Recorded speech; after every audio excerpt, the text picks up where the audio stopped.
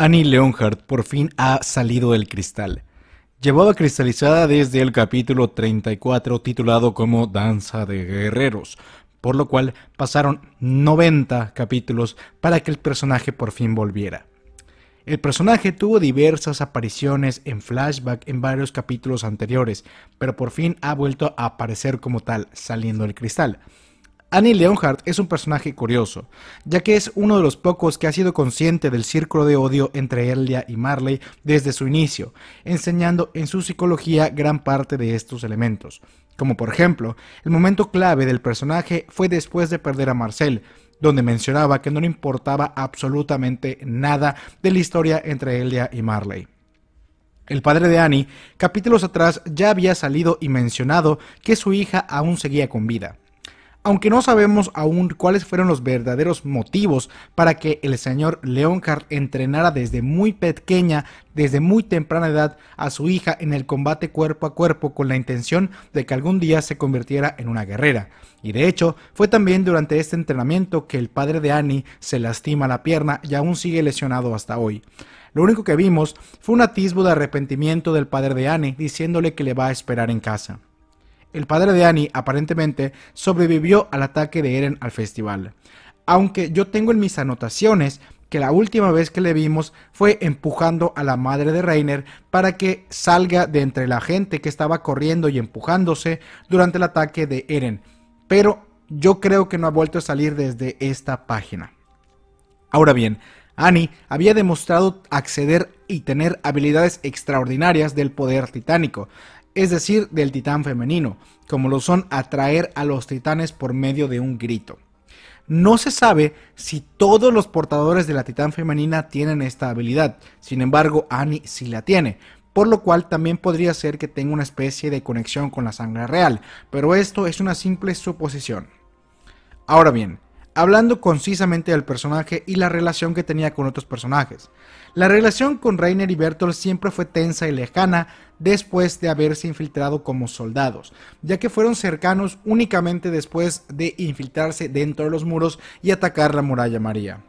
Incluso había demostrado cierto rechazo hacia Bertolt y Reiner con lo ocurrido con Marco Bot en Trost. De hecho, fue el propio Reiner quien orilló a que Annie sea capturada ya que él le envió la carta donde le explicaba los planes de la Legión de Reconocimiento, diciéndole que Eren estaba en la parte derecha de la formación de la Operación 57 afuera de los muros, donde ella se transformó e intentó capturar a Eren en los bosques de los árboles gigantes, pero no lo pudo encontrar ya que ella se transformó en el flanco derecho donde no estaba Eren. Reiner fue el responsable de que toda esta serie de coincidencias se dieran para que descubrieran a Annie, ya que también fue ella quien asesinó a Sony y Vin, los sujetos de prueba como titanes. Ahora bien, la relación de Annie con los Eldianos era buena únicamente con Eren y con Armin. Con Eren llegó a enseñar incluso una sonrisa durante los entrenamientos cuando le mostró sus movimientos de batalla y cuerpo a cuerpo, ya que ellos llegaron a tener una conexión. Incluso el propio Eren dudó de asesinar, comerse o hacerle algo al cuerpo de Annie cuando la vio llorando después de sacarle de el titán. Y con Armin también tiene una relación especial, ya que Annie siempre trató de enseñarse como una buena persona para Armin. Esto se intensifica y es especialmente interesante para los lectores ahora, ya que Armin posee al titán colosal de Bertolt Huber. Hay que recordar que Bertolt cuando estaba vivo estaba enamorado de Annie, por lo cual yo creo que esto podría tener algún desarrollo futuro, ya que incluso el propio Eren ha mencionado que Armin ha estado teniendo, digamos, una cierta influencia de su antecesor Bertolt Huber, ya que iba a visitar el cuerpo cristalizado de Annie junto con Hitch Dreise. Aunque por otro lado, la rivalidad aún está con Mikasa. Desde siempre habían tenido esta rivalidad Annie y Mikasa. Parece como si naturalmente Mikasa hubiese sabido que ella era un titán cambiante y un enemigo. Sin embargo, todo el contexto ha cambiado y Annie ha despertado por fin después de cuatro años y el mundo que ella conocía es totalmente distinto.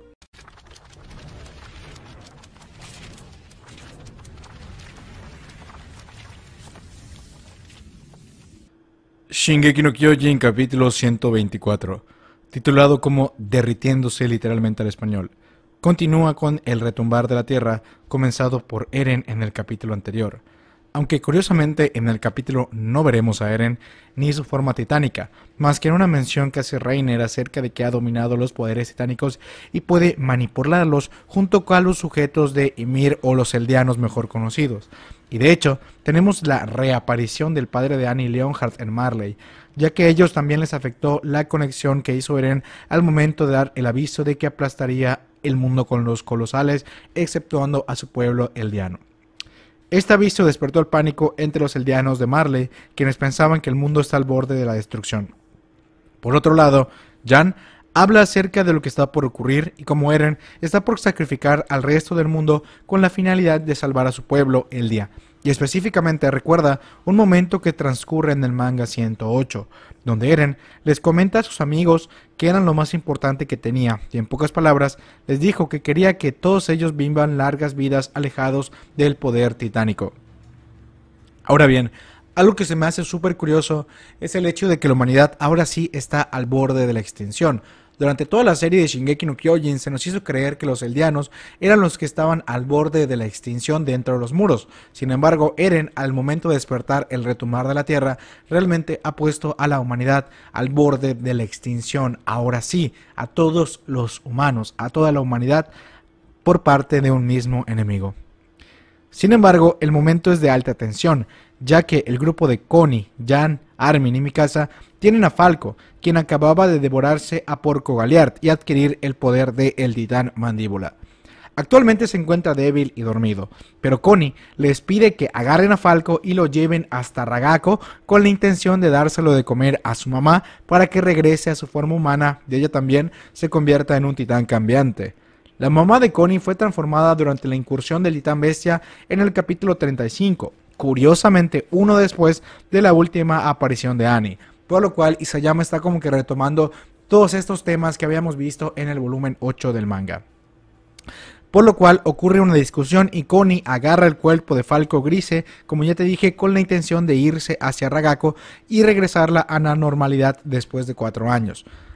Aunque más adelante en el capítulo se maneja por parte de Gaby Brown en una conversación algo súper interesante acerca de que si Eren, al tener el control total de los poderes titánicos, podría ser capaz de revertir el efecto de la transformación en los titanes puros o no cambiantes y regresarlos a su forma humana.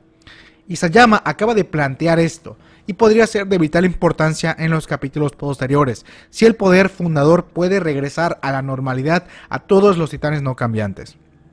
Ahora bien, Hajime Sayama en ocasiones anteriores comentó de lo sufrido que sería para algunos lectores esta recta final, y en sí ocurren dos bajas súper importantes, una más que la otra, pero la verdad es que Nile Dog, el comandante de la policía militar, sí era un personaje medio carismático. Él fue transformado también en el grito al tener el fluido espinal de Zeke, y cuando en su forma titánica de titán puro de que ya no controla nada, está a punto de atacar a Kaya, la chica que rescató Sasha, pero es asesinado por Gaby para salvarla.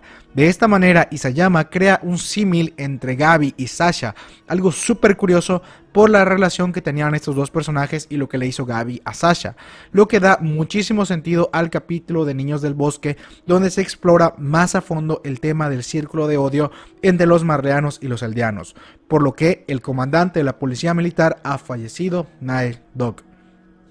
Otro personaje realmente querido por el público y que sinceramente nunca pensé que terminaría así, ya que él mismo había dicho que le gustaría ser devorado por una hermosa titán, es el comandante de las tropas estacionarias, el gran comandante Dot Pixis, quien también fue transformado. Desde siempre sabíamos que tenía un gusto por la bebida y de igual manera fue transformado. Sin embargo, es asesinado por Armin cuando están defendiendo una de las bases militares de su refugio en Shingansina.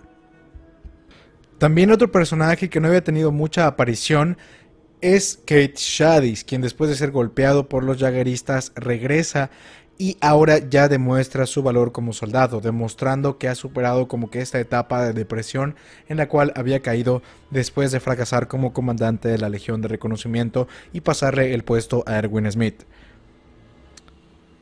Realmente, hablando en sí del arte de este capítulo, tiene muchísimas referencias a el arco de Trost. Ahora bien, el arte de Isayama y las situaciones recuerdan demasiado a este primer arco, que fue realmente el primero pensado en un inicio por el mangaka, ya que como te he mencionado en el pasado, en anteriores videos, la serie no estaba planeada para ser una serie larga, de hecho no estaba planeada ni siquiera para pasar del primer tomo de manga, fue publicada porque la revista Besatsu Shonen Magazine pues iba a lanzarse, de hecho la primera publicación de Shingeki coincide con el lanzamiento de la revista, por lo cual esta revista como que necesitaba la mayor cantidad de series más o menos pues buenas y de mangakas pues no tan conocidos, aunque también hay mangakas conocidos en esta serie, en esta revista, pero bueno, Isayama no era realmente la gran cosa junto con Shingeki cuando salió esta serie hace 10 años, como lo es ahora sí, que incluso hay una portada específica de Shingeki cada cierto tiempo. Es por eso que es súper curioso cómo este arco de Trost, que fue el primero pensado, eh, está teniendo muchas referencias visuales en este final del manga. Es un grandísimo detalle, ya que se siente muy familiar con lo que está ocurriendo, como si el tono de la serie al inicio estuviese volviendo, pero con todos los elementos que necesitamos para disfrutar de un gran final. Es un toque increíble, de verdad es un toque increíble que me gusta resaltar, que ustedes se den cuenta de las referencias al arco de Trost.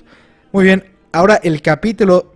Y de hecho, algo súper curioso es que los personajes que no estaban en Trost, como lo son Erwin, Levi y Hanji, que son importantes, tampoco estaban en Trost y tampoco están actualmente en Shingansina. Por lo cual hay muchísimas cosas detrás de la planeación de este final. Por eso te digo que comparten muchas similitudes.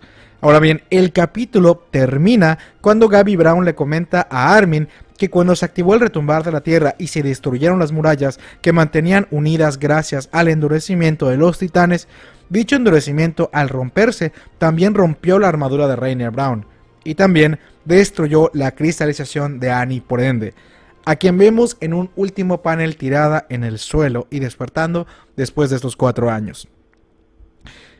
Y así termina el capítulo de la serie. El próximo capítulo de Shingeki no Kyojin saldrá posiblemente a finales de diciembre, ya que por las fiestas de fin de año y muchísimas cosas más, se adelanta eh, la se adelanta la editorial adelanta el capítulo, por lo cual lo tendríamos antes de tiempo. Este capítulo corresponde a enero. No es que diciembre tenga dos capítulos, pero es que el de enero nos llega también en diciembre. Por lo cual en enero no tendríamos capítulos si nos llega a finales de este mes. Por lo que recomendaría estar al pendiente de las redes sociales y todo lo que ocurrirá en los próximos capítulos de la serie. El siguiente capítulo será el 125 y será el tercero del volumen 31. El volumen 30 ha revelado también su portada alternativa, que es esta de Eren y es preciosa. Gracias por llegar al final de este video, nos vemos muy pronto.